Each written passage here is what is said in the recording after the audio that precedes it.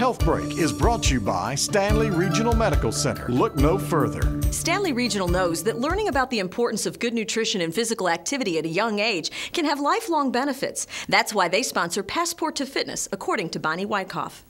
Passport to Fitness is a partnership between the hospital and the Stanly County Schools where we bring a healthy lifestyles program to each student, kindergarten through fifth grade. We face to face teach all the fourth grade classes. We send out a lesson box in all our other grades. The classrooms get one lesson box a month. It has everything that teacher needs to teach that lesson. And these lessons can affect kids positively in both the short and long term. We're trying to decrease the rate of overweight children in Stanly County. We're hoping that long term we'll have healthier citizens and healthier Stanly County residents. To learn more about Passport to Fitness or find a physician, visit stanly.org. I'm Beverly Herbert for Health Break. Health Break was brought to you by Stanly Regional Medical Center.